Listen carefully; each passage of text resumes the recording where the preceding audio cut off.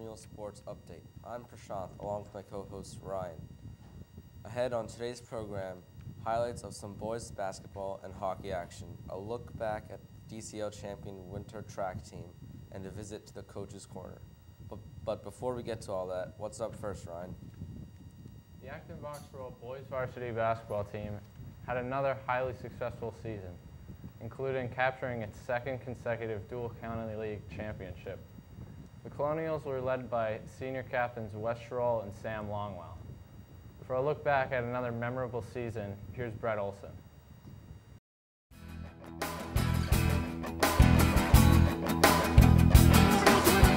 Yes. Right to. Just like that, 2 nothing.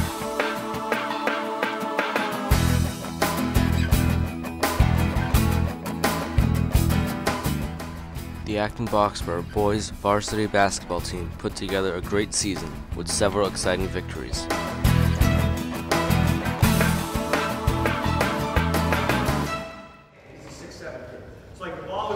The Colonials are led by two senior captains, Sam Longwell and Wes Schroll. We spoke to Longwell about the way the team is coached. Since my underclassmen years, Coach K has really helped me and the team develop as a uh, as a good squad. He gives them a list of goals they should try to achieve in the off season, and most kids get the job done and achieve them. And when all that happens, it when the season starts, it comes together as a really good team because everyone's accomplished their individual goals.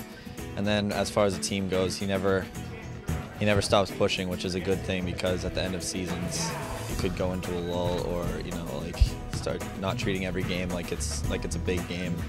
And uh, coach doesn't really let that happen, so it really helps us as a team keep playing hard and you know win win some big games down the down the stretch of the season. So. The intense practicing and the desire instilled by Coach Kilpatrick seem to have paid off, with the Colonials earning a playoff berth. We talked to varsity captain Sam Longwell. Now we'll discuss the season with Coach Kilpatrick. I thought that um, the 2010-2011 se- season was really gratifying.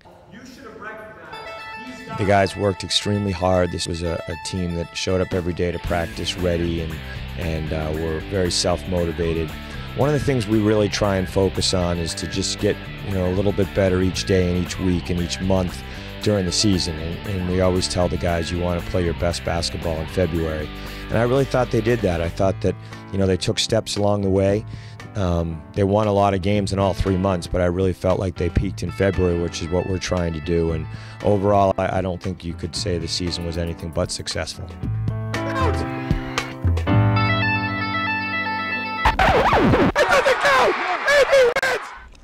Although the season ended abruptly, the Colonials seemed prepared for success.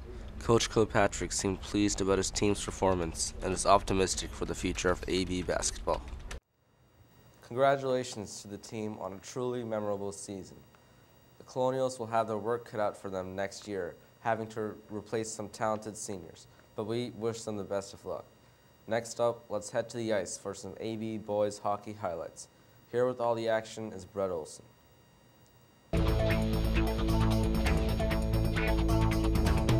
Paul Moy scored early, giving the Colonials a 1 0 lead. After some nice passes by the Colonials, Colin knocks in the second goal of the game. Junior Tyler McKelvey scored another 8, widening the lead.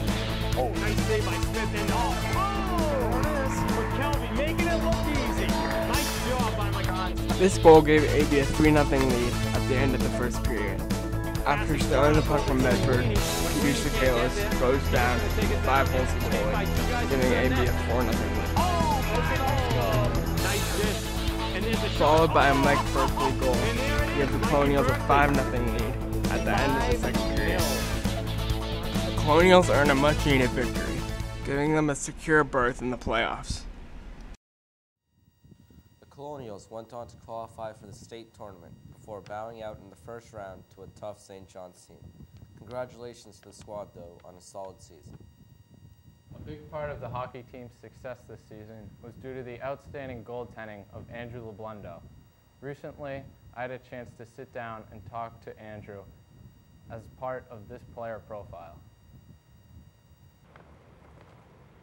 Hello, everybody. I'm alongside with Andrew LeBlendo. Today, we're going to take a we're going to have a player profile of him. Of him. First and foremost, Andrew, it's safe to say we're all wondering how the team is going to look this year. We understand that last year's team fell a little short of making the playoffs, but how does this year's team compare? Well, I think this year we're going to have a very good team. We didn't lose too many seniors last year, and uh, we have a lot of good juniors and seniors this year, and our goaltending is going to really keep us in most games. Nice. From a personal standpoint, tell us a little bit about yourself and your position and your role on the team. Well, first of all, my main role on the team last year was to be on man up and have get the shot on man up. But this year, I'm hoping to move my game more to an, a defensive point of view and s- score more goals. Nice. Is lacrosse a sport you've been playing for a while? Like, when did you first start playing? I first started playing in sixth grade, and since then I've been playing every year and a lot of lacrosse. So I like lacrosse, and it's a fun sport to play. Nice. Do you have any individual goals for this year? Like you said, we fell short of playoffs by one game last year, and we lost by one goal to Concord. So my main goal this year is to make playoffs and hopefully go pretty far into the into the tournament. Nice. Um, take us through your off season and your preparation for the season. Well, to start off, over the summer, I play a lot of cro- lacrosse. I play with my friends and all that. I work out, lift weights, run. And then for the winter season, I actually play hockey, so there's not a lot of lacrosse I can do. Um, but I still get the endurance, I still get the working out. And uh, right before the season starts, I usually play indoor lacrosse with a bunch of the uh, varsity team players. Is that a team that you, is that, is that a lot of fun for you, I'm assuming? Yeah, Yeah. it's a fun team to play for, and you get to play lacrosse and work on the skills. Kind of builds your like team chemistry. Yeah. Yeah. hmm Um, what would you say are the keys to success this year for your team? First of all, we just have to be smart, not get in any trouble off the field, so we can all be eligible to play. And then also we have to just work hard, come prepared to every game, and uh, put the ball in the net. Yep, definitely. I can, t- can definitely see where you're coming from. Um, is there any particular things that you need to focus on more this year that you didn't last year? Maybe to, you know, push to make the playoffs this year? Uh, probably passing and catching, Yeah. definitely, because a lot of the time we drop the ball and we lose the offensive push and we go on to defense and we'll sometimes let up a goal. So, Uh huh. and then ground balls, we have to pick the ball off the ground a lot, much better because we're losing the one-on-one battles with the other team. Mm-hmm. Yeah, I know in many sports, uh, ball movement is definitely a key to success. Mm-hmm. I'm sure it's the same for lacrosse. Yep. Um, is there anything with the sport that motivates you or makes you want to play it more? Any Uh, people or anything? Mainly college lacrosse. The NCAA tournament, lacrosse tournament, is a big motivation because it's amazing to watch, and the players just put so much time and effort into that uh, tournament. And Outside of AB, are there any specific teams you play on? mm, no, I mostly play indoor right before the season, and then I go right to the, the team when it's time to uh, for tryouts. Yep. Uh, do you see yourself playing at the next level, maybe? I would like to play at the next level, but I don't know. I don't know if I'm ready or good enough to play at the next level yet. So we'll see. Um, throughout your life, what has been your most memorable experience with lacrosse? Um, probably last year, I was playing a lot of JV lacrosse. I tried out for varsity, was on the team for the first scrimmages, and then got moved back down. And then halfway through the year, I got moved back up. And the first game I played, and I had one of the one of the goals to uh, win the game. So that was pretty exciting. Nice. So would you say being moved up halfway through the year is that something that you just kind of fulfilled your role and fit in with everyone? Yeah, I I really uh, picked up my game and started playing to the varsity potential, and that's that really helped out the team when I got pulled up. Um, from like a coaching staff, is there anything that they kind of emphasize towards you guys? Uh, don't take any stupid shots because when we throw the ball at the net and it's not a hard shot or it's badly positioned, it's it's a turnover and we have to go back on defense and we're wasting uh, a shot on net pretty much. Um, are there any teams you guys are looking out for this year in the in the DCL? Billerica. Billerica's a very good team this year. Uh, LS is always a good team, and uh, BC High is another one of those top teams in our league. So those Uh-huh. should be some good games. So you guys see you guys got some non non league games. Yeah. Yeah. Mhm. We definitely play a couple non-league games. That's good. Um, well, that's about it for today. Uh, thanks for being on, Andrew. We appreciate it. Um, we're looking forward to following the season, and uh, good luck. Thank you. Thanks to Andrew for that interview, and we wish him the best of luck during the upcoming lacrosse season. Now on to the hardwood and some hoop highlights. Earlier in this show, we highlighted the boys basketball team's DCL championship season. Now with a look back at two of their most important wins of the year, here's Brian Phelan and Elliot Gilfix. The Acton Boxborough boys varsity basketball team recently traveled to Westford to take on the Grey Ghosts. Start this one off. Cornelius wins it. Colonial Joey Flannery steals the ball, then runs down the court to give it to Wes Schroll for a layup. AB comes away with it. Joey Flannery, great pass. Wes Schroll. And one. And one. Colonial Sam Longwell drives to the basket, and even though he's fouled, he's still able to make an acrobatic layup. Sam Longwell. What a take to the basket. The Grey Ghosts, though, kept fighting, led by their senior captain, Mark Cornelius. Cornelius and one. Colonial Sam Longwell gets his own rebound and makes a three to end the first half. Got it. Got it for three. Colonial Dana Flood makes a nice steal, then gives it to Joey Flannery, who converts on a layup. After that, Joey Flannery for two. Kevin LaFrancis takes a key charge, which would change the momentum in the game. Oh, chart Kevin LaFrancis. AB Sam Longwell had a great game, driving through the entire Westford defense to make a key layup. Beautiful move, hanging in the air. AB coming out with the victory. With a final score of 74 to 66.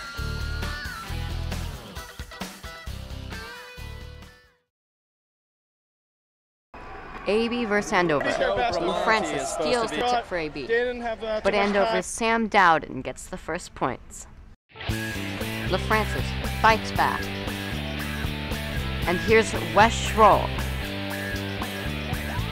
Sam Dowden again. Wes Schroll fights back again.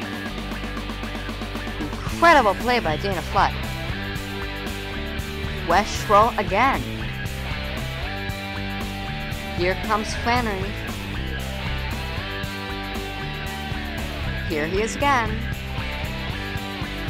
An amazing three-pointer for AB. AB leads by 13. Joey Flannery, number 32. An amazing play by Joe Bermonti for Andover. A basket by LaFrancis. An incredible slam dunk by Joe Bermonti for Andover. LaFrancis is knocked to the ground.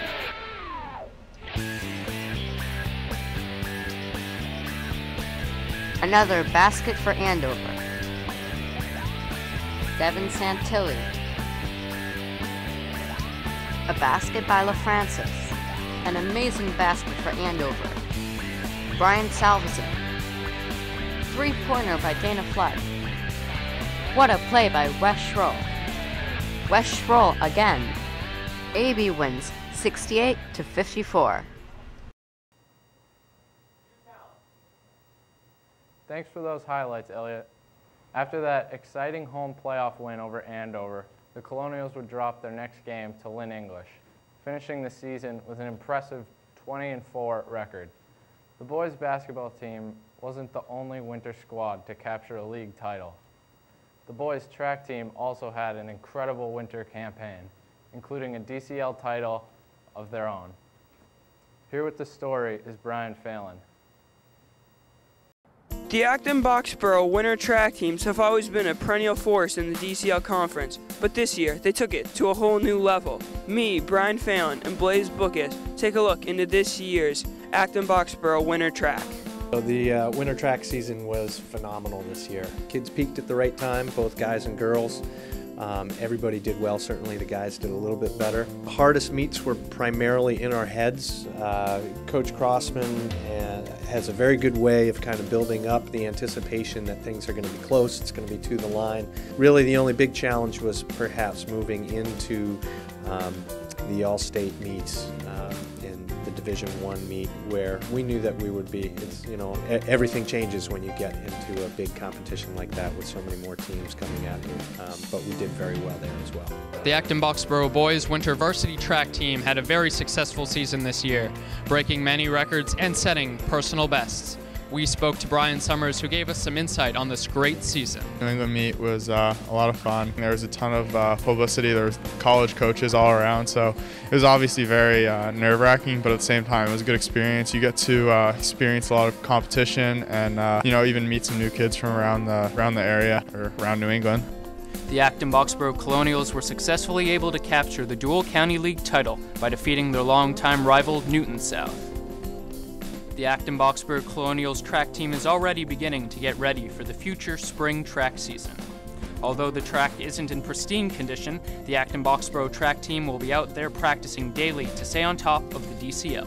Overall, it was truly a special year for the AB 2010-2011 winter track team, especially for the 4x800 boys relay team, who won the DCL, States, New England's, and recently went to Nationals. We wish them the best of luck.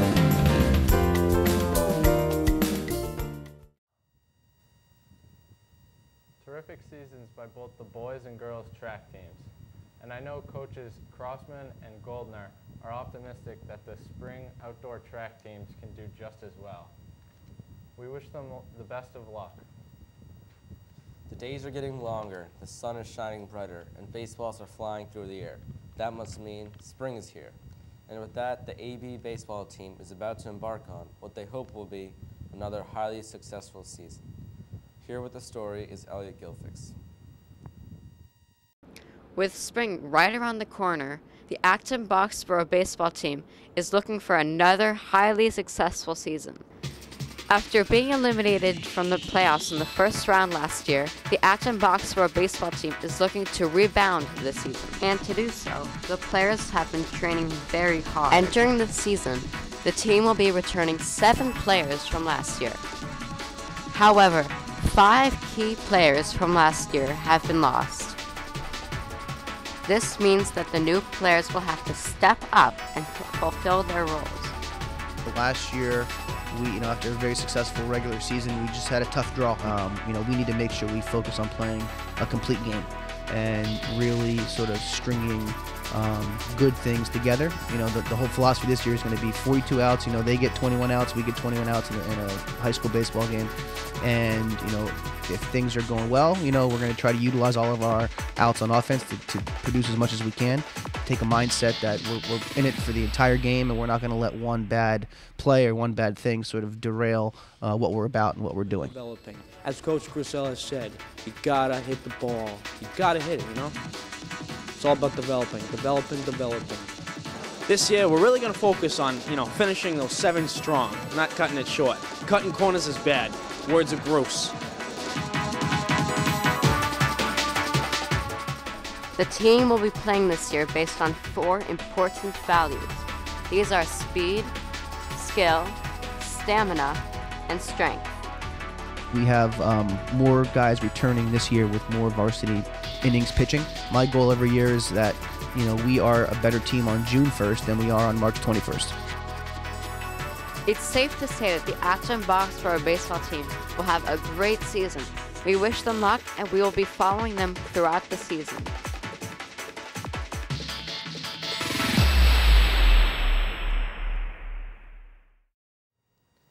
Best of luck to Coach Crisella and the baseball team on the season ahead. In fact, we send out best wishes to all the spring teams as tryouts began this week. This winter was, was highly unique in that two AB teams had a chance to play at the famed Boston Garden.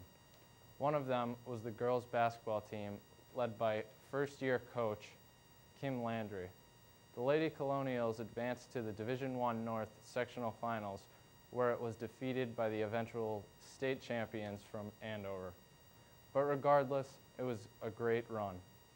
And recently, our own Brett Olson had a chance to sit down and meet Coach Landry in this edition of Coach's Corner. Hi, I'm Brett Olson, and in today's Coach's Corner, we have a chance to sit down with the varsity girls basketball coach, Miss Landry.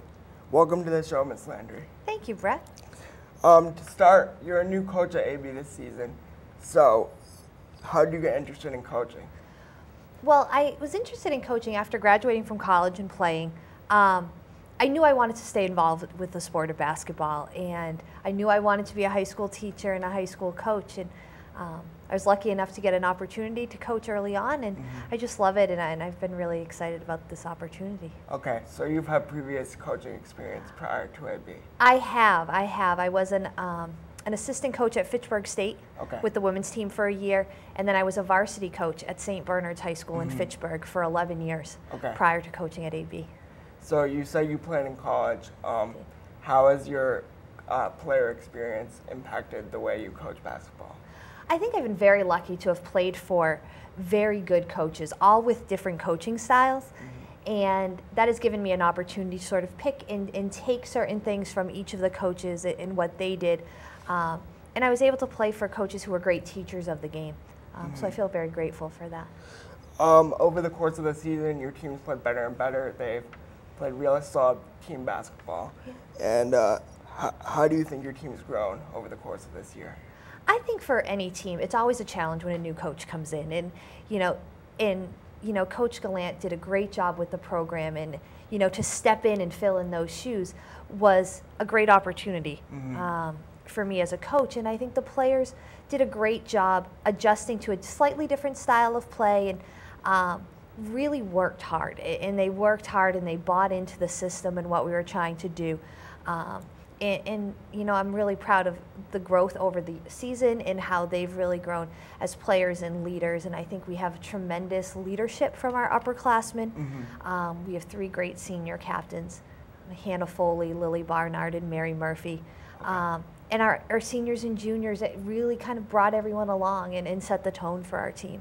Okay. So, uh, how do you think your team is prepared to uh, transfer into the next few years with um, those seniors and juniors leaving? You know, I think that part of a program and to bring your program up to the next, it's that consistency and, and being right. able to be a competitive um, team year in and year out. And, you know, we have five seniors that have been tremendous leaders and a big part of our program this year. Um, and when they graduate, that leaves an opening for some other kids to step up. And, you know, we have some great juniors on the team, I think led by Elizabeth Belanger, mm-hmm. um, who scored her thousandth point right. um, last night. So I think that that is, you know, it, it's nice to know that she'll be back and with that core of juniors. And we've had a two, few sophomores who have been with us on varsity for the year um, Sarah Smith and Rosie Quinn. And I think, you know, another year of experience for those kids, you'll see them step up as leaders as well. Mm-hmm. So the postseason adds a lot of pressure to teams. How do you think your team is prepared to handle the pressure of the postseason? I think we're lucky enough to play in a very competitive league and right. play competitive games night in and night out and, um, and be challenged during the regular season. I think mm-hmm. as a coach, it's really important to be challenged um, every night in, during your season so that when you get to the postseason, you're prepared um, for that level of play. And you know, it comes down to playing hard and controlling the things you can control and mm-hmm. working hard and digging in defensively and working on making sure that you're controlling the boards um, and the rebounding. And, and that the, the, offense comes from there. I think that right. teams that can really defend um, really have a chance to do big things come tournament time. Mm-hmm and you seem to have had a lot of success last night. So, yeah, it was, it's always nice to get that first tournament win under your belt because when you talk about you know the pressure of the tournament, it's that first game sometimes is the toughest to get over that hump and um, sort of get used to what it means to be playing in the tournament and the type of intensity that's needed. And um, I was really proud of how we responded. And Billerica's a very good team, and um, they came ready to work, and we knew they would. So we had to come out.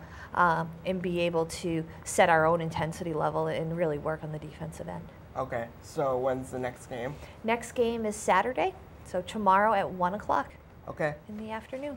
Uh, well, the lady, the AB Lady Colonials seem to be prepared for another long postseason run. Uh, thank you for joining us on the program today. Thank you so much for having me.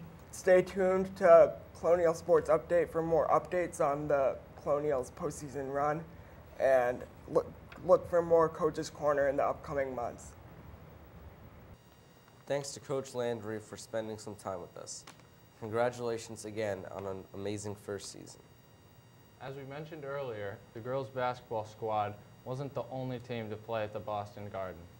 The girls ice hockey team also played there, losing the Division One state final to Hingham.